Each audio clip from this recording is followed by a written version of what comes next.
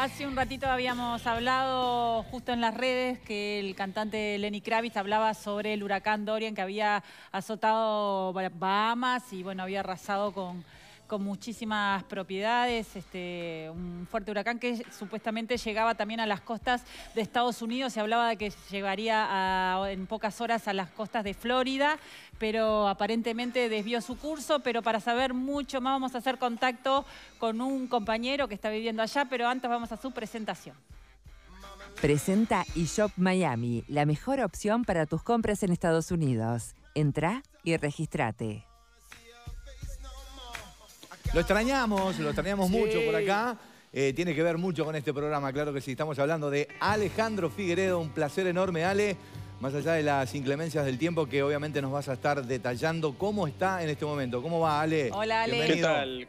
Coco, Cuca, Martín. un saludo grande para todos ahí en Desayunos Informales. Un placer de reencontrarme con ustedes. Por supuesto que las circunstancias no son las mejores. A esta hora, como ven, está lloviendo bastante aquí en Miami.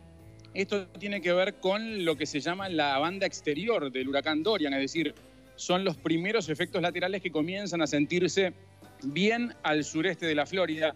Pero como decían ustedes, lo peor ha pasado y está pasando en Bahamas. Quiero decir, ha pasado y está pasando porque en realidad Bahamas es muy grande. Ayer el ojo del huracán Dorian atravesó la isla de Abaco, donde hizo todo tipo de destrozos. Y en la jornada de hoy está todavía sobre la que se llama la Gran Isla en Bahamas, donde está Freeport, que es una de las segundas ciudades más importantes de ese archipiélago.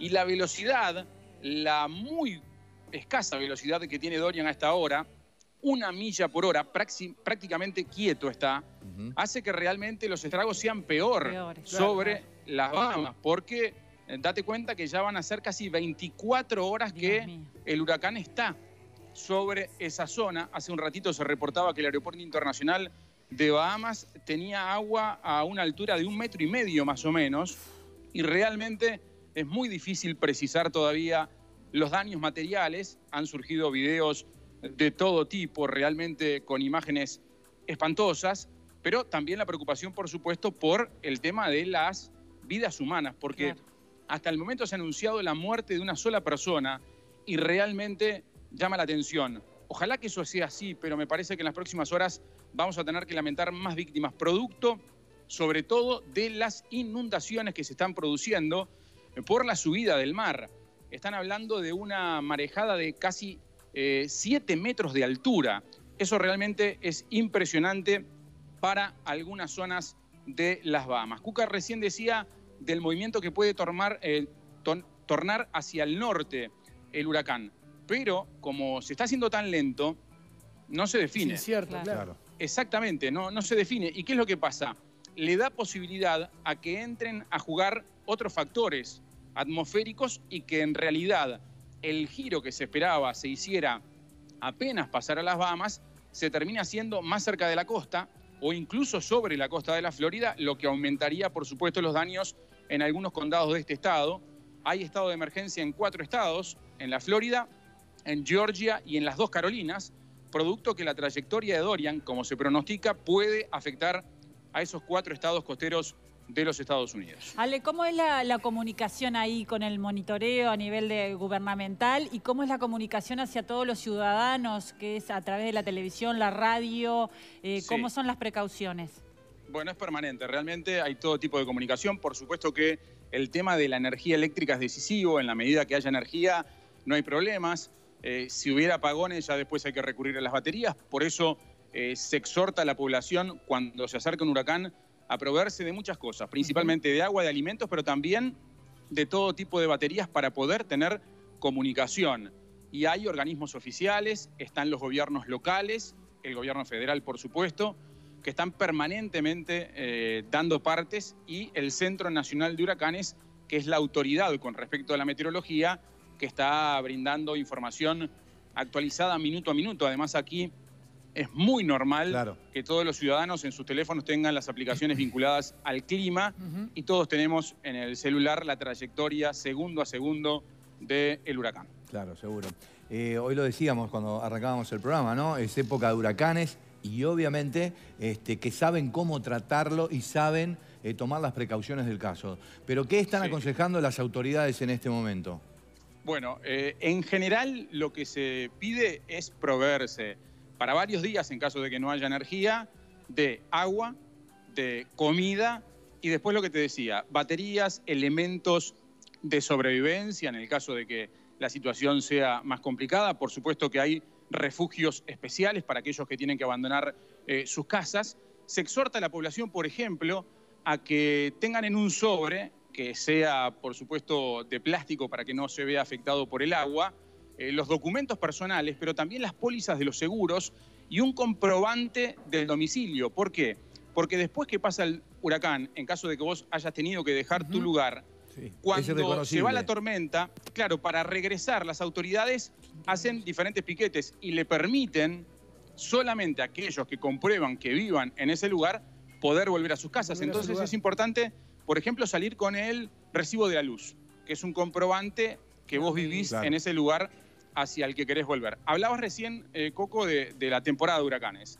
La temporada de huracanes oficialmente arranca el primero de junio y se extiende hasta noviembre. Sin embargo, los meses más activos históricamente son septiembre y octubre.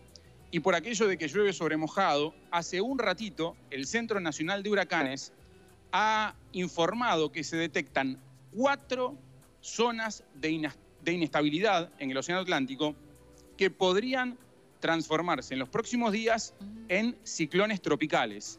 Y hay una de ellas, la que más le preocupa al Centro Nacional de Huracanes, que está sobre Cabo Verde, muy cerca del límite oeste de África, que normalmente es el origen de los huracanes eh, más duros que pegan sobre el Caribe y sobre la costa este de los Estados Unidos. Así que hay que monitorear no solo a Dorian, sino lo que está pasando a su alrededor. Ale, ¿y qué pasa con las actividades? ¿no? Porque el tema de la gente va a trabajar, no va a trabajar, las escuelas, ¿qué pasa con todo eso?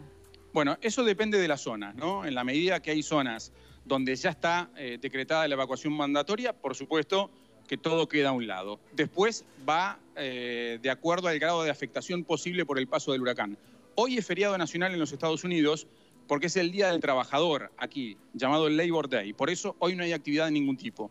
Pero, por ejemplo, en el condado de Miami-Dade, donde no se esperan mayores eh, consecuencias por Dorian, mañana tampoco va a haber clases. Están cerradas las clases para la jornada de mañana, incluso aquí, bien al sureste del estado, lo que pauta la preocupación y sobre todo la previsión para que no haya sorpresas a último momento. Tenemos que cerrar, Ale, pero ¿cómo estás tú? ¿Cómo está toda la familia? ¿Qué, están haciendo ahora en estos momentos? Bien, bueno, nosotros eh, nos hemos quedado acá básicamente a la espera de las novedades. Eh, como todos, nos preparamos para, para, lo peor y después desear que no, que no ocurra. Eh, estamos en una zona que es de evacuación mandatoria, por suerte no ha surgido, porque es una zona muy inundable. De todas maneras, vivimos en un edificio de apartamentos que es una zona seguro, segura en cuanto a, lo particular, ¿no? Un edificio de concreto no, no, no, pasaría nada, pero corres el riesgo de quedarte durante varios días sin luz, sin agua y bueno, con, con, las situaciones que se pueden dar a partir de eso, ¿no? de que un huracán pase que no se pueda salir durante mucho tiempo y por eso, bueno, este, hay agua, hay comida para varios días, pero bueno, esperando que, todo se vaya normalizando en las próximas horas. Ale. Bueno, ojalá que no pase nada, ¿no? Sí. No pasa este, mayores. Bueno, te mandamos un beso grande a ti, a toda la familia y un gusto de hacer este contacto contigo y saber de que están todos bien. Bueno, muy bien. Gracias, Victoria. Un beso grande. Abrazo para Coco, para Martín, para todos ahí en Desayunos Informales y que Cata mande la receta. ¿eh? Uh, la podés ver, la podés ver por internet, le quedó exquisita. Para, para, para, una cosa final. Porque eh, no, no, lo voy a dejar pasar. A ver, a ver, a ver. Atención. ¿Qué es eso de hacer chistes, Cata?